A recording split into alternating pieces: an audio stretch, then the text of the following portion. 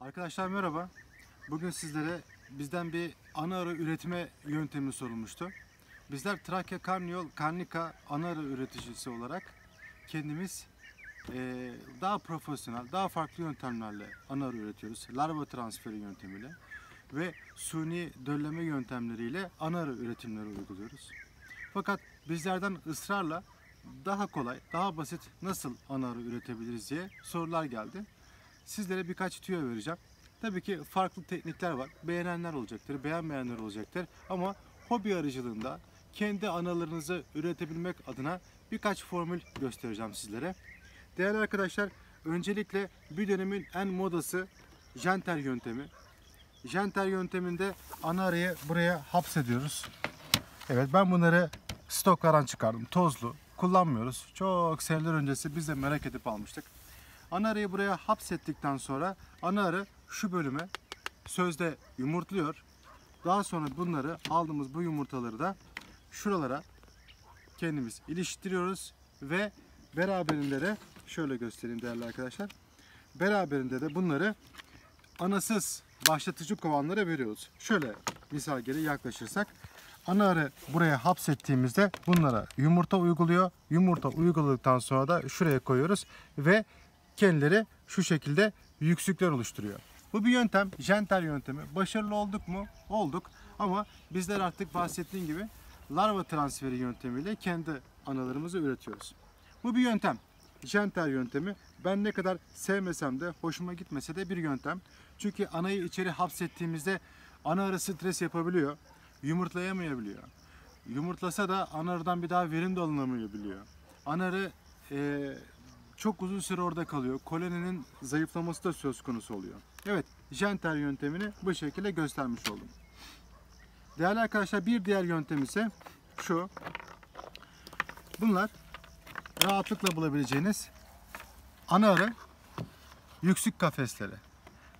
Koloni, koloniyi anasıyla beraber alın, başka bir yere taşıyın.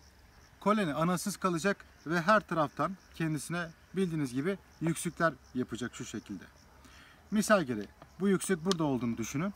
Birkaç tane yüksük yapalım sizin için şu şekilde. Evet bu yüksükleri alıyorsunuz. Daha sonra şu ana arı kafeslerini alıyorsunuz, bastırıyorsunuz. Çok kolay. Alıyorsunuz, bastırıyorsunuz. İstediğiniz kadar ana arı üretebiliyorsunuz. Bunlardan çıkan ana arıları da alıyorsunuz. Daha sonra bir sürü ana arınız çı- çıkmış olacak çaylak. Şöyle yavaşça içinden bigudilere aktarımını yapabiliyorsunuz. Daha sonra aktarımını yaptığınızda da şu şekilde kapatıyorsunuz ve beklemeye alıyorsunuz. Değerli arkadaşlar, akademik çalışmalar yapılmış. Efsanelere ya da kendi yorumlarımıza katmaya gerek yok. Artık ilim var, bilim var. Yurt dışında da, yurt içinde de araştırmalar yapıyor. Ana arı 16 günde çıkar. Bunun 3 günü yumurta, 6 günü pupa, kalanı da 6 günü larva, kalanı da pupa. Toplamda 16 günde çıkar. Ve çıktıktan 8 ila 10 gün arasında ergenliğe gelir. Ergenliğe geldiğinde zaten biz de bekletiyoruz. Kendi ürettiğimiz ana arılarımızda bekletiyoruz. Pupalarda değerli arkadaşlar. Ve 8 ile 10. gün kendimiz beğendiğimiz kovanlardan, erkek arılardan sperm çekip bazı salin solüsyonlarla spermin kalitesini arttırarak yani yaklaşık 8-10 erkek arının spermiyle beraber ana arıyı bayıltarak enjekte ediyoruz. Suni dölleme işlemini gerçekleştiriyoruz. Tekrar ediyorum. Ana arı ergenliğe 8 ila 10 gün sonra gelir. Ve dölledikten 3 gün sonra da yumurtlamaya başlar. Geçenlerde bir soru sorulmuştu. Bununla ilgili birçok yorum yapıldı ama net olarak şöyle söyleyeyim. Ana arı 16 günde çıkar. Biz 8 günde ergenliğe geldiğini söyleyelim. 16'ya 8 ekleyelim 24. 3 günde öyle bekleyelim 27 gün. Yani 27-28 gün sonra çıktıktan yumurtlamaya başlar değerli arkadaşlar. Evet bu yöntem hobi arıcıları için kolay bir yöntem. Ana arı kafesi dediğinizde rahatlıkla bulabilirsiniz değerli arkadaşlar. Evet bir diğer ana arı üretme yöntemini şu şekilde göstermek istiyorum. Yükseklerimiz bu şekilde aldınız değerli arkadaşlar. Bunları da göstermek istiyorum. Bakın bunlar da bizlerin taşıma kafesleri, gönderim kafeslerimiz değerli arkadaşlar. Biz ana arıya bazen koloniye bu şekilde de veriyoruz. Biz size şu anda e, ben bir kolonide ana arı verme yöntemi sizler için çektim. Ana arıyı verdik. saldık ve daha sonrasında şu kafesle veriyorum ben analarımı. Hiç sıkıntı yaşamıyorum. Şu anda da yumurtlamasını bekliyorum. Yani başlangıç bölüm sonuç. 25-27 günlük bir video olduğu için son halinde bekliyorum. Onu da size yayınlayacağım. Değerli arkadaşlar, analarımız çıktıktan sonra bahsettiğim gibi çaylak anaları ya da döllü anaları şu şekilde salıyorum, kapatıyorum, şu şekilde bastırıyorum peteğe ve ben bu şekilde veriyorum. Ve koloni çok güzel kabul ediyor. Bu kafesten muhakkak edinin değerli arkadaşlar. Kendiniz de yapabilirsiniz. Bunun tekniğini ben sizlere daha sonra göstereceğim. Koloniye, arı ko- kolonisine ana arı verme yöntemlerinden biri olarak. Bunlar taşıma kafeslerimiz değerli arkadaşlar. Bu da aynı şekilde, bu da aynı şekilde taşıma kafesi ve bu da bizim taşıma kafeslerimizden biri arkadaşlar. Evet, bunlar da ana arı taşıyabiliyoruz. İsteyenlere de gönderiyoruz. Şunu söylemek istiyorum. Bir ana arı üreticisi olarak sizlere bir şey itiraf edeceğim değerli arkadaşlar. Türkiye'de 6 çeşit ırk var. 6 ırkla dünyada birinci sıradayız. Bizler arıcılıkta dünyada ikinci sıradayız. Bal üretiminde, kovan nüfusunda falan fişman ama bizler ırk konusunda da 6 ırkla dünyada birinci sıradayız.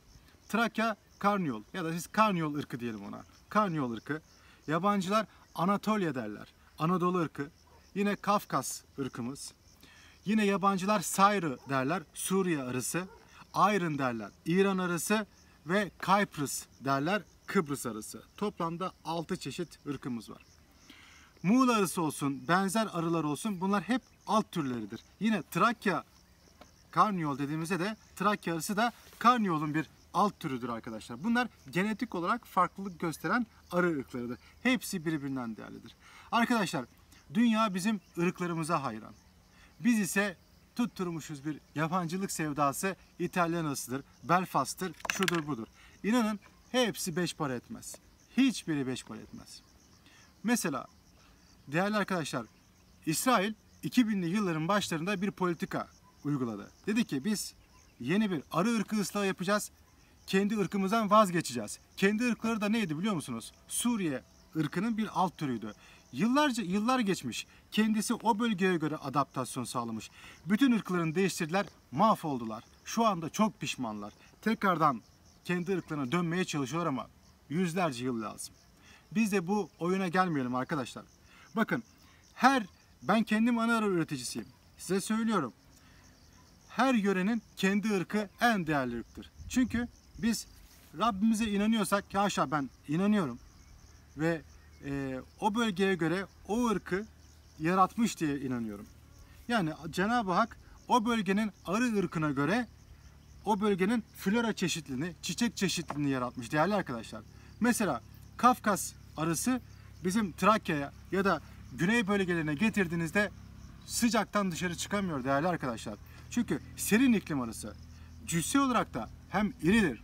Aynı zamanda çok ilginç bir şey söyleyeceğim. Kafkas arısının da dili uzundur. Fakat oradaki çiçek florasına da bakıyoruz. Hepsi yüksümsü çiçekler değerli arkadaşlar. Yani Cenab-ı Allah o bölgeye yaratmış. Dersiniz ki aşağı ben Allah'a inanmıyorum. O zaman da şunu kabul etmek zorundasınız. Evrimleşe evrimleşe o bölgenin en iyi arısı o olmuştur. Her iki şartta da kıvırmaya imkan yok. Yani kendi bölgemizin arısıyla çalışalım. İtalyan arısıymış, Belfast'mış, şuymuş, buymuş kesinlikle tamah etmeyelim değerli arkadaşlar. Bakın Belfast arısı da yine bir e, papaz bilim adamının birkaç arı ırkını birleştirerek uyguladığı bir yöntem. Hani bizler de yapıyoruz. Suni dölleme yapıyoruz değerli arkadaşlar. Misal suni döllemede çıkan ana arının %65'i annenin genlerini taşır. %35'i babasının genlerini taşır. Spermin genlerini taşır. Arkadaşlar biz örneğin size 8 mikroçip kadar bir sperm ya da 10 erkek karıdan sperm çektiğimi söylemiştim videomun başında. İşte orada diyelim ki anayı karniyoldan larva transferini üretiyorlar ama erkeği biraz Kafkas'tan oluyorlar. Biraz Suriye'den, iki tane de işte İtalyan'dan şu şekilde kendileriyle bir mutasyon ırk yapıyorlar. Ama inanın hepsi yalan, hepsi fasafiso. En iyi arı kendi aranızda arkadaşlar. En iyi arı Anadolu arasıdır. En iyi arısı Trakya Karniyol'dur. En iyi arı Kafkas, en iyi arı Suriye, Kıbrıs, en iyi arı İran. Bizim kendi Anadolu arımızdır. Kendi bulunduğumuz bölgenin arasını kullanalım. Değerli arkadaşlar konu gelmişken bu konuyu da ısrarla altını çizmek istiyorum. Ben bir ana üreticisi olarak bunu size itiraf ediyorum. Kendi bulunduğumuz bölgenin arısı en iyi arıdır değerli arkadaşlarım. Bir diğeri şu. Mesela bunlar korungalarımız. Bunlar bitmek üzere değerli arkadaşlar. Bunların videolarını sizlere yayınladım. Bu bölgenin kendi çayır otları. Ama maalesef biçe biçe bunlar yok olmayı yüz tutmuş. Bizler tekrardan bunları üretmeye başladık. Bizim kendi ırkımız da bunlara uyumlu. Evet. Yüksükler oldu. Koloniyi anasız bıraktık. Her taraftan yüksük çıktı. Tekrar ediyorum. Kapatma kafesleriyle kapadınız. Anaları gördünüz. Şöyle kapatalım. Diyelim ki bunlar yüksek. Bir sürü ana arı çıktı. Bunları da gördük. Değerli arkadaşlar. Kalsın. Hiçbir sorun olmaz. Ama eğer içiniz vesvese yaparsa da bigudi de temin edebilirsiniz. Bunları arı malzemesi satan herkesten bulabilirsiniz. Bunlar ana arı yüksük kafesi. Bunlar bigudi denebiliyor arkadaşlar. Bunu ise tel olarak alıp siz kıvırabilirsiniz. Bununla ilgili tekrar ediyorum size detaylı göstereceğim. Ana arılar çıktıktan sonra bakın bunlar strafor kovanlarımız. Biz kendimiz bu şekilde üretiyoruz. Sprey boyayla boyuyoruz bunları ve kendimiz bunlarda ana arı üretiyoruz. Şöyle göstereyim içini. İçi biraz batıktır size örnek olsun diye göstermek istedim. Misal ana arılar çıktıktan sonra ya da yüksük halindeyken biz bunu iliştiriyoruz değerli arkadaşlar. Buraya da muhakkak kek koyuyoruz. Kek koyduktan sonra ister çaylak ana arınız olsun isterse de e, yüksük olsun. Daha sonrasında bir koloni belirliyoruz. Ana arısı olmayacak koloninin. Ana arısını başka yere alın.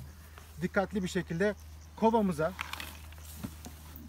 ne varsa silkeliyoruz arkadaşlar. Arıları silkeliyoruz içine. Bir kova yakın neredeyse şöyle yarısına yakın bir arı oluyor. Arada da şu şekilde şu şekilde şu şekilde yapıp işçi arıların aynı aralıkta yaptığımız işçi arılar uçuşuyor değerli arkadaşlar. Şu şekilde şu şekilde uygulama yapıp daha sonra bunu hepsini içerisine döküyoruz bu şekilde. Kendi aralığımızda uyguluyoruz ve daha sonra bunu da bu şekilde kapatıyoruz. Yarı gölgeli bir yerde tutuyoruz. İçinde bahsettiğim gibi çıkmış çaylak ana da olabilir, yüksük de olabilir. Hiç sorun yok. Altını da göstereceğim arkadaşlar. Şu şekilde. Bunu yarı gölgede tutuyoruz. Zaten içindeki işçi arılar değerli arkadaşlar hemen tekrardan kovanlarına gidecekler. Kalanlar yavru arı. Kekleri de var burada ve yüksük var ya da yeni çıkmış çaylak ana var. Yavru arı oldukları yavru arı olduğu için anayı çok çabuk kabul edecekler. Burada döllenecek hepsi ve size muhteşem bir ana arı olacak değerli arkadaşlar. Evet bu yöntemi de göstermek istiyorum. Bunları biz sprey boyalarla kendimiz boyuyoruz. Bunlardan bizlerde yüzlerce var. Yine temin edebilirsiniz istediğiniz her yerden. Evet bu yöntemde yine bahsettiğim gibi larva transferiyle yaptığımız yöntemler. Bakın onu da hızla size göstermek istiyorum. Bunlar mandallarımız. Mesela bunları şu şekilde de iliştirebilirsiniz. Bunları her türlü arıcılık malzemesi satan yerden bulabilirsiniz. Mesela yüksük kısmını bu şekilde de koyabilirsiniz değerli arkadaşlar. Ee, bu bigudiler sizin işinize de çok yarayacaktır. Çok faydalı olacaktır. Bizler burada kendi yüksüklerimizi buraya montajlayıp larva transferiyle bu şekilde salkım yapıyoruz. Zaten göreceksiniz. Ama size basit bir şekilde göstermek istediğim yöntem buydu. Yani kendi ana arınızı kendiniz çok kolay üretebilirsiniz. Koloniyi anasız bırakarak kafeslere alıp ve bu yöntemlerle. Evet sormak istediğiniz sorular varsa sorabilirsiniz değerli arkadaşlar. Bahsettiğim gibi koloniye ana arı verme hususunda bana çok soru geldi. Bununla ilgili videomu çektim. Sadece yavru atımını göstermek amaçlı birkaç güne daha ihtiyacım var. Onu da sizlere yayınlayacağım. Evet teşekkür ederim beni dinlediğiniz için.